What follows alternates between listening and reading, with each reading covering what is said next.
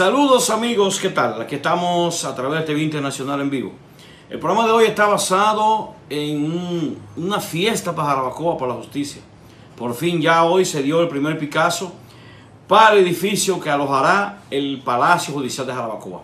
Está en Constanza y faltaba Jarabacoa.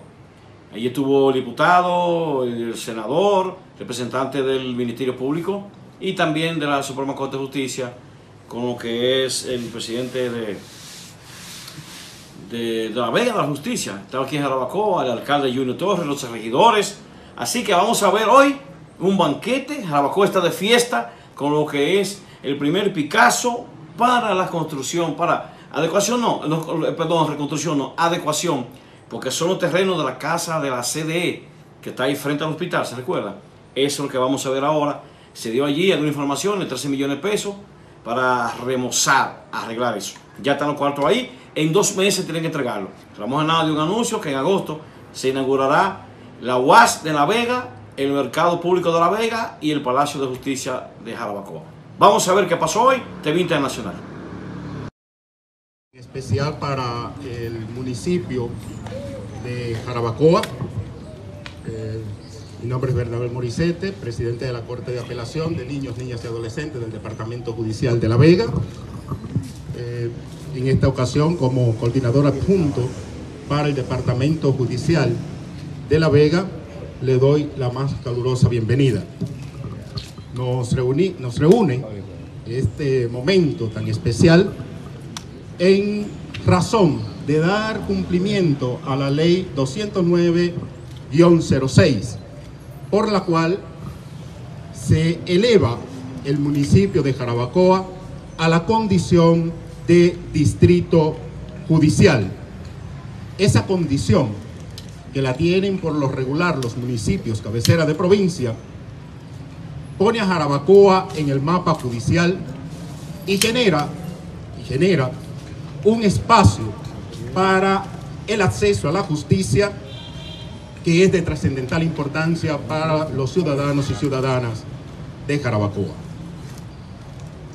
Y el motivo de reunirnos hoy, y recuerdo que en el 2020 ya el honorable ayuntamiento del municipio de Jarabacoa declaraba como una necesidad urgente el que esa ley de 2006 se pusiera en ejecución.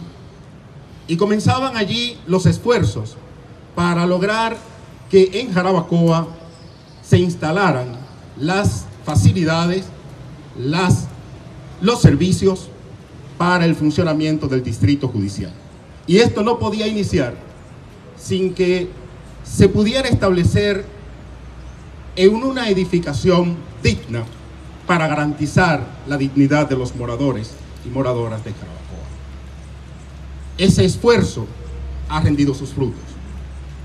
En el día de hoy estaremos dando inicio a los trabajos para la remodelación, la readecuación de una edificación que con toda la dignidad del mundo, con toda la dignidad posible, garantice a los ciudadanos y ciudadanas de Jarabacoa ese acceso a la justicia tan necesario. Muy buenos días, muchas gracias, magistrado Moricete. Agradecer a los presentes, amigos de la prensa, al senador Rogelio Genán, al alcalde Junior Torres, al magistrado Amauris y a todos los presentes que se encuentran acá. Eh, en el día de hoy damos inicio, como dice el magistrado, a esta obra, a este proyecto tan esperado para Jarabacoa y que contempla la, la remodelación de esta casa detrás de nosotros que tiene una superficie de 570 metros cuadrados aproximadamente. Con ello vamos a estar realizando la inclusión de lo que es un juzgado de instrucción, una primera instancia que son dos tribunales que hacen falta aquí en Jarabacoa y ya complementado con los juzgados de paz que ya se encuentran acá. Igualmente en esta casa, como parte de los servicios que se van a, a implementar, va a estar el Ministerio Público, va a estar Casa Comunitaria de Justicia y la Defensa Pública. O sea que en este sentido vamos a tener una presencia de la justicia bastante amplia para los servicios de la comunidad, para Jarabacoa y que tanto hacen falta.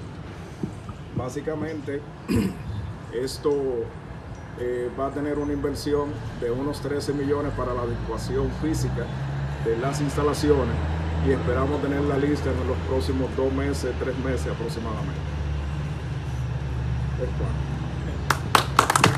Este 5 de abril, esta mañana primaveral de este 5 de abril, en esta ciudad donde nos vanagloriamos de ser la ciudad de la eterna primavera, donde hemos secuestrado esa estación más, más hermosa del año de manera permanente, eh, nosotros queremos celebrar, ¿verdad?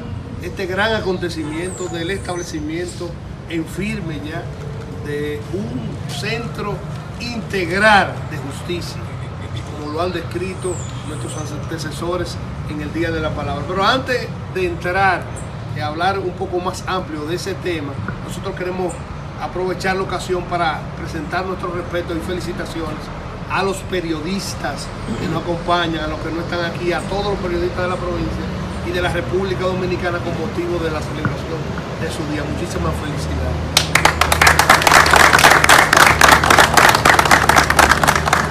La provincia de La Vega es una provincia que tiene muchísimas singularidades y somos eh, pioneros y principales en muchísimas áreas. Eh, por ejemplo, recientemente, a propósito que se inició la Liga de Fútbol, somos la única provincia que tiene dos equipos de fútbol en la liga profesional.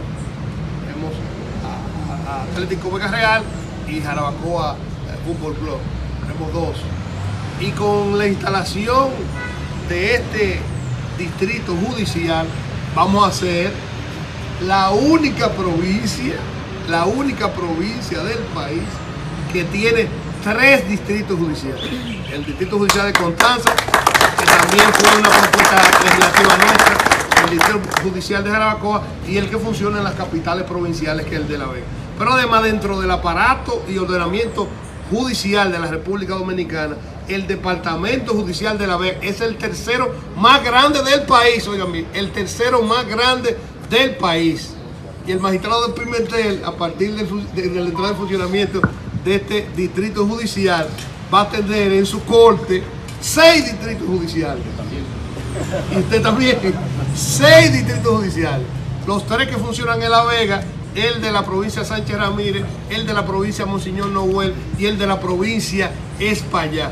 O sea que vamos a tener también eso. Pero no solamente somos el tercero, tenemos las mejores estadísticas en funcionamiento. El día de hoy somos parte de la historia de Jarabacoa, consiguiendo nuestro distrito judicial y de hecho ya iniciando lo que será la sede de ese distrito judicial, nuestro Palacio de Justicia.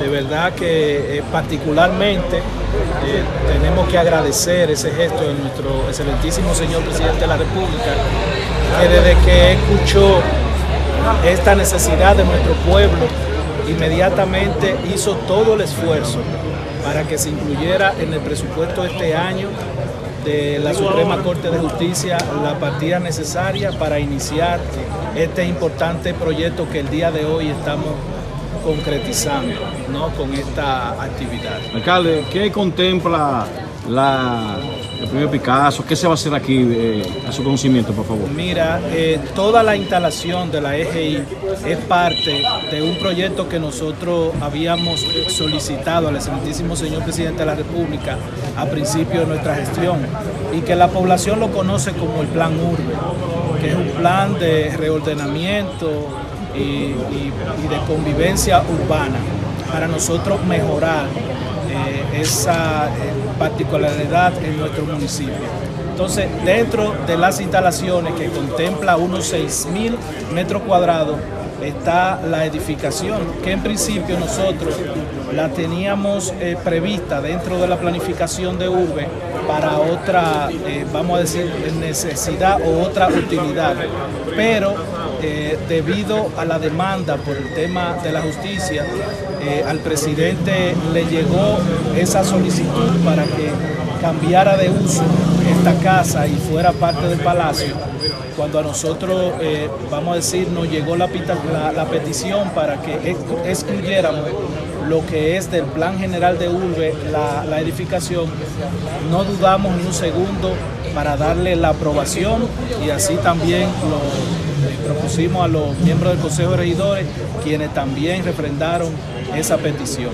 Eh, ellos van a remozar lo que es esta casa para adaptarla al Palacio de Justicia y nosotros tenemos que ver con todas las instalaciones exteriores de los demás 6.000 metros que comprende la, eh, vamos a decir, la propiedad y que en lo adelante nosotros vamos a estar dando detalles de que en los próximos días vamos a iniciar con esta ejecución que ya también está licitada y tenemos eh, la persona de Santo Domingo que va a ejecutar la parte exterior en lo que nosotros llamamos la primera etapa del plan urbe para Jarabacoa.